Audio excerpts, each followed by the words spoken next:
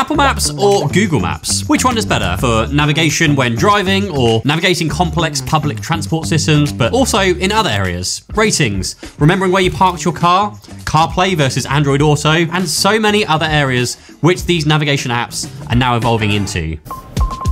So let's start with the overall user interface. Now I know these two apps are very polished, they've both been around for many, many years already, but there are still some differences where certain design choices have been made. Now when navigating somewhere on Google Maps, you see all of the options at the top of the screen and how long each transport method will take. With Apple Maps, however, you have to tap into each option to see how long it will take.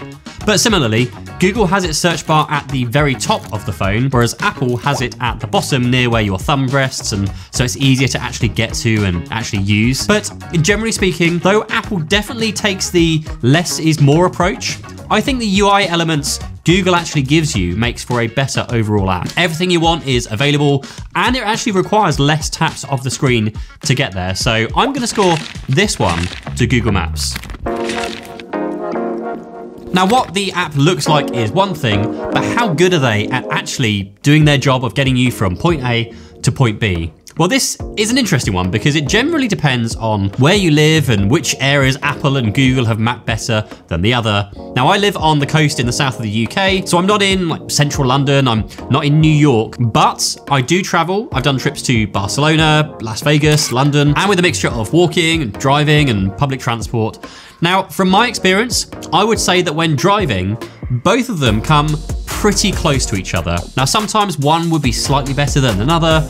I do think that Google's traffic reporting is better than Apple, although I thought Google's acquisition of Waze a few years ago meant that we get like Waze-like features in Google Maps where we can report issues whilst driving, but apparently that's not gonna happen. But generally speaking, they are very, very close. But even driving around my local area here, it took me all of a few minutes to find Google trying to send me some very strange ways. Now for me though, it is when switching to public transport where Google Maps takes the win. Now whilst in Barcelona recently, I found Google Maps to be so much more reliable at giving me the best routes and the best times. Now ignore the significant delays you see here, that's just uh, good old British public transport, uh, and also the reason why we don't really rely on public transport. Um, being able to easily scroll through all of the available options for the underground or metro, the bus, and the train to find the best way to get to your destination works so much better with Google Maps. Now with Apple Maps giving me recommendations that would still get me there, but in longer times and in longer routes. I actually noticed a, a YouTube friend of mine, Shervin Shares, who's like a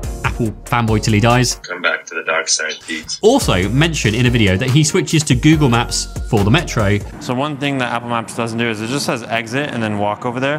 Whereas Google Maps right here, it says exit via 8th Ave in the 16th Street Southwest corner. See right here, this is the 16th Street Southwest corner. This is the Northwest corner. So we gotta go this way. Thank you, Google. But then switches back to Apple Maps when he's above ground. So it's nice to hear the same from other people as well. Now there is no real clear winner here since it depends on your location and whether you drive or take public transports. I'm going to call it a draw, but if you drive, then maybe score one to Apple here. And if you use public transport, score one to Google instead. Head southeast on Hunts Pond Road towards Admiral's Road, then turn right onto Admiral's Road. Speaking of actually navigating, how good are the voice commands each app gives you?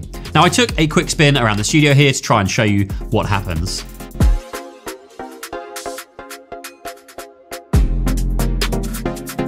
Now, always, every single time, Apple would give me much earlier instructions. So as I was approaching a junction or intersection or roundabout, whatever you want to call it, I knew ahead of time which direction I needed to go, and I knew more details about it. Use the roundabout to make a U-turn, then turn right into the car park. Whereas Google Maps would wait until I was basically at the junction already, like probably looking lost or confused, before it gave me only the most basic instructions. Like at the very end here, turn right onto this road. Cool, okay, and then what? So a clear win here for Apple.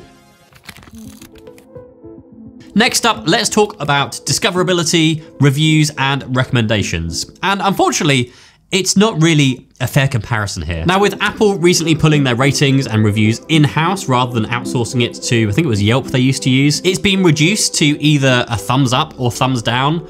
And sometimes you can do a thumbs up or thumbs down on specific categories like customer service or food and drink. Images are also crowdsourced with a mixture of images people have either uploaded, but also taken from Wikipedia, TripAdvisor, Foursquare, and other places.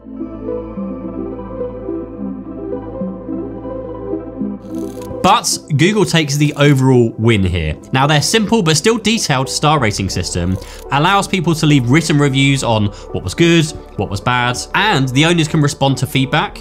You can even search within reviews for specifics. Now, I've done this before by searching for things like family, December, or Christmas to find reviews specifically from a family staying somewhere over Christmas.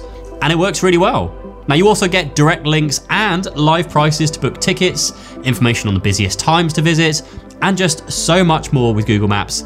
It's just not even a fair comparison here. Apple have a lot of ground to catch up on. Next up is one to ruffle the feathers of Apple and Android fanboys alike, and that is Apple CarPlay versus Android Auto. Now, each of them have their strengths and their weaknesses. Apple CarPlay makes better use of the screen by having directions show up in a separate part of the screen, whereas Android Auto will cover up the map. And Apple CarPlay also intelligently shows and hides elements like when getting near your home, it will show you a button to control Apple Home accessories, whereas Android Auto just does not. I have to go through a lengthy process to open SmartThings and then tap to open like my garage door for instead, for example. Now, Android also does allow you to quick reply to messages with pre-generated responses, which is handy. But I also found that in some cars, not all cars, I'm not able to enter text when the car is moving, like moving at all, like even at slow speeds. Now, if I wanted to quickly navigate somewhere, I know that sounds like a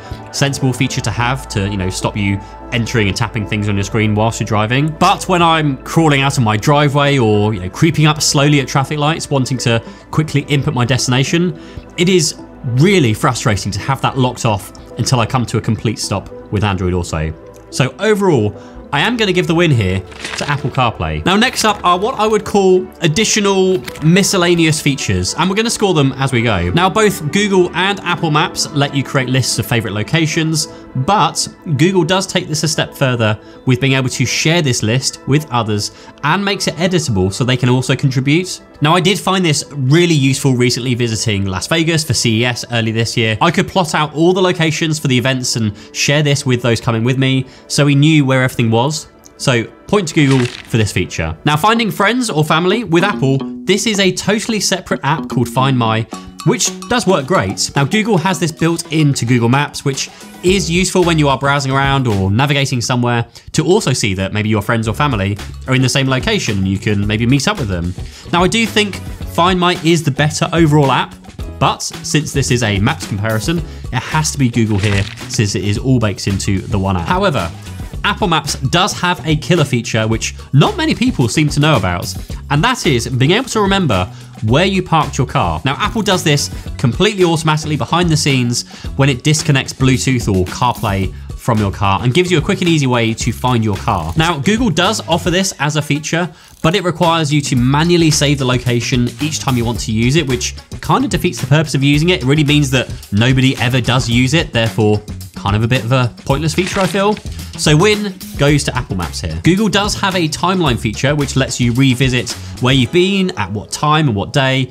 It is actually really useful if you want to you know, scroll back to see what you were doing on a certain day or maybe you can't remember the name of a place that you visited. Assuming of course you're okay with Google collecting like all that level, level of data on what you're doing, of course. Both Apple and Google also have lock screen integrations, though Apple is definitely winning the way here, like by clearly displaying directions on the always on display, whereas when you use Google Maps, you have to tap to wake the screen up, and even then you just get a small bar showing you directions, whereas Apple will give you the full map even when the phone is locked. Now with that said, both apps work with the dynamic island on the iPhone, and on Android, Google Maps will pop up in a separate window, so you can still use navigation whilst using other apps. But I will give the win here to Apple for the much better lock screen integration.